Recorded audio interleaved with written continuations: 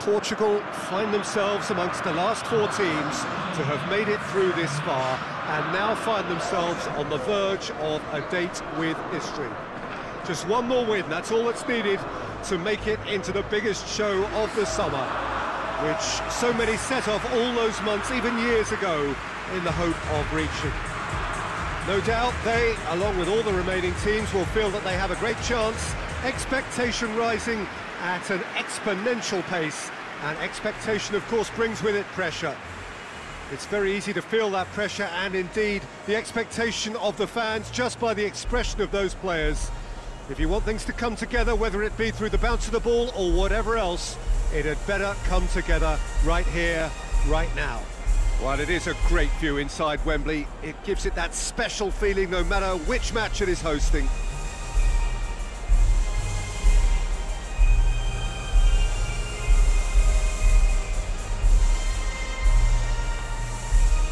Quite some performance, and now here comes the response.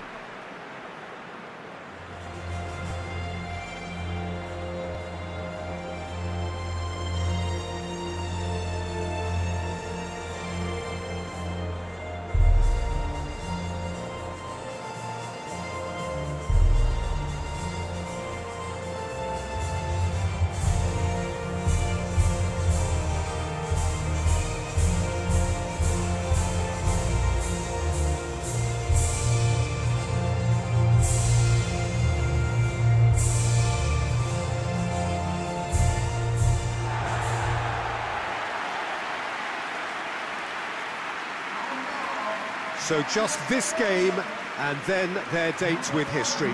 The big day we are all yearning for. This competition has been a superb advert for football, Peter, up to this stage, and it'll continue like that with all the talking points focusing on the positive side of things, I'm happy to say. Credit has to be afforded to the way in which everything was coordinated, despite games being spread across so many different nations. In essence, none of the camaraderie associated with the tournament has been lost. I'm pretty sure that this game will back that up. There's the whistle, and here we go.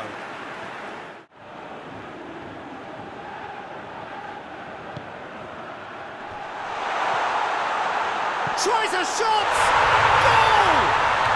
It's hardly a surprise, is it? That's what we're here for, a player with this wonderful knack of being able to show up and deliver at important times. Yet, yet another example. That's no fluke, it's what he was there for. Oh, look, there's only one player who merits all the praise for that. Not only did he finish it, but his instincts for being where he was are absolutely top-notch.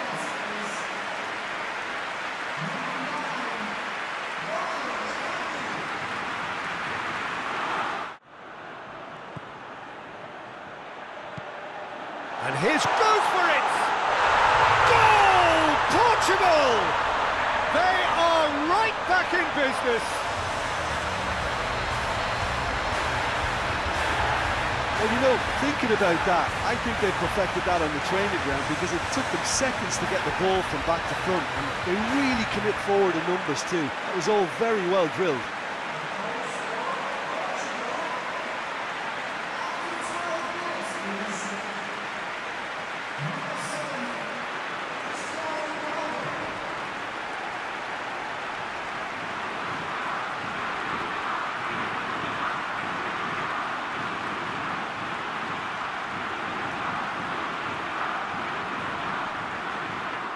And this is thoroughly merited for me.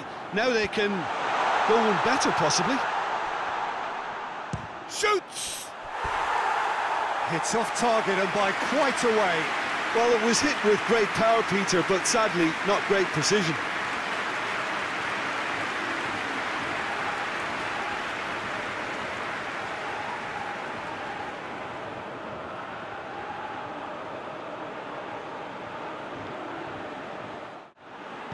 And here's Cristiano Ronaldo. Hits one! Goal! Portugal! They've done it! It was coming! They have their reward!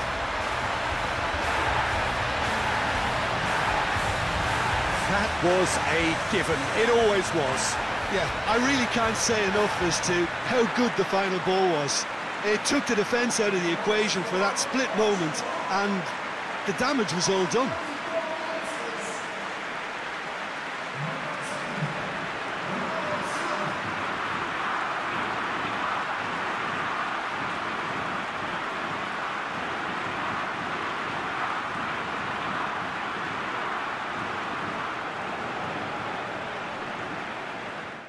Diogo who's set up one goal so far.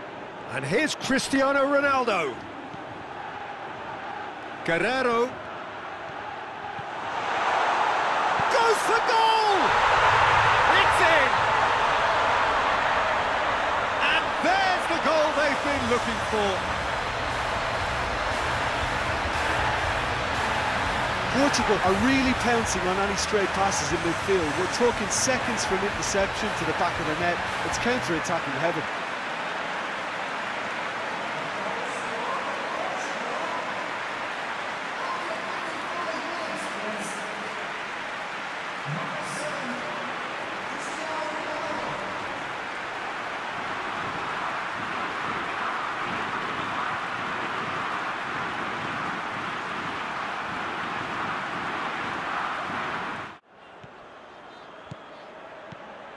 João Moutinho.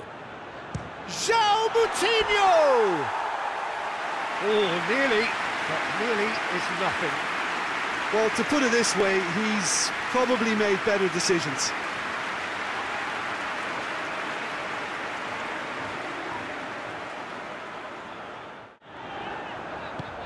Forward it goes. That's a decent ball. He's one-on-one! -on -one! Oh, that's a foul, and the whistle's gone.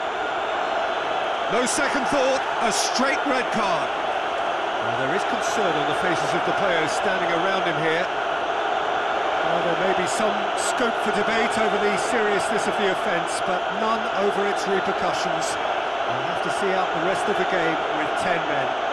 I gave him a decision to make, Peter. Concede the foul or expose his keeper to a one-on-one -on -one encounter.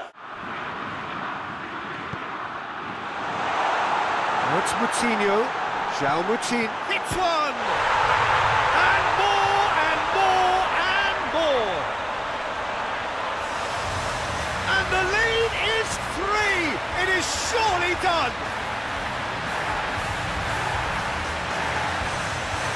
Time and space aplenty, he was never going to miss. Yeah, and all engineered, Peter, by some smart running and movement. That's already something to admire, but how about the pass? Just wonderful. Loved it.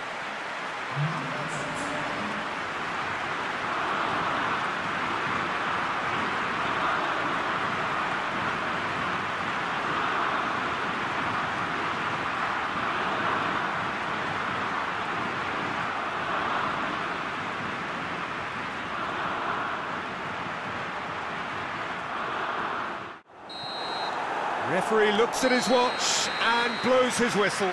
Portugal are the winners in a one-sided semi-final. How would you sum up what we've witnessed, Jim?